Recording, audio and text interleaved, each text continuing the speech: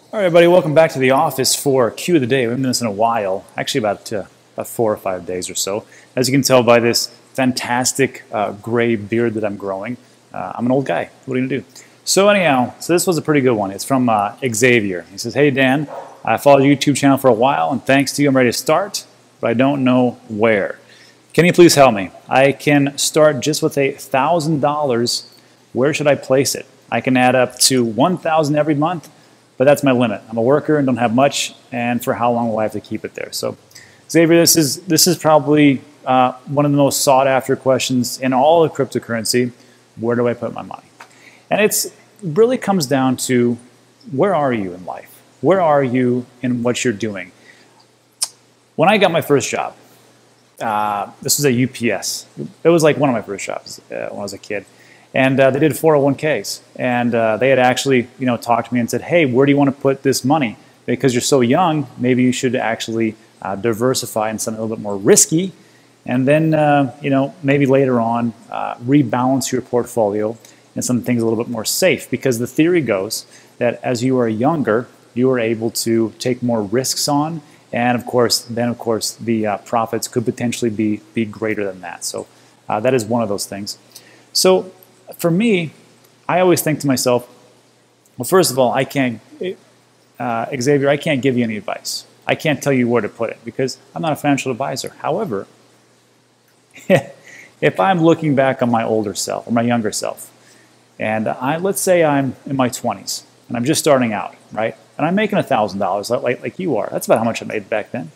Uh, I would think to myself, you know what? I probably want to balance my portfolio to something that's a little bit more on the risky side and then uh, balance it out with some things a little bit more safer. So if you're talking about just in cryptocurrencies, let's just go with cryptocurrencies. I'm not going to talk about uh, real estate. I'm not going to talk about metals. I'm not going to talk about anything else like that uh, or whatever.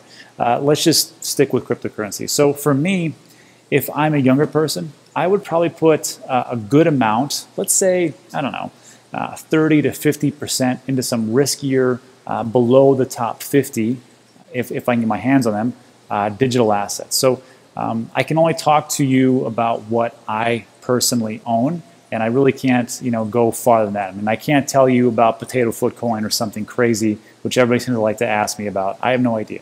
So if I want to go a little bit lower about some things that are probably potentially coming up over the next, you know, years, then I would look at something like Celsius token. I would look at something like Theta token, which we went over today. And I would look to you know put a good chunk of my money into those because I think they're going to grow. And the reason why uh, is because um, they have a great team behind them. They have a mission. They solve a real world problem. So I can definitely see putting that into that. And then maybe rebalance it into something like you know 25%, 20% maybe Ethereum, and then maybe another 20% into Bitcoin or 25, uh, depending on what you want to do. And then hopefully that'll that'll balance itself out. But again, if I'm younger and I can take the risks, I'm going to take more risks because there's a higher reward. Now, let's say I'm in my 30s and I got a couple kids and uh, I'm looking at, well, what am I going to do with these kids? Uh, how am I going to pay for everything as far as college and the mortgage and everything else? Maybe I don't want to be so risky uh, just in cryptocurrencies, right?